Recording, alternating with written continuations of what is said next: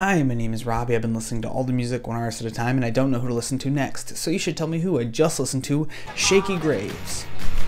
Album ranking Shakey Graves has a very interesting genre progression to me, starting off in indie folk, going into like this blues folk, which I've never really heard before, into indie rock, and then finding a way to mesh all of those together in his most recent album, which I think is where the magic lies. Hi, y'all. Editor Robbie here.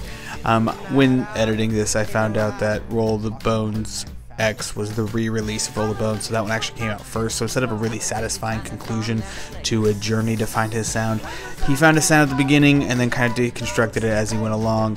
Uh, to end on a less than stellar project, he basically just got worse as he went along. So sorry, I should have looked that up beforehand.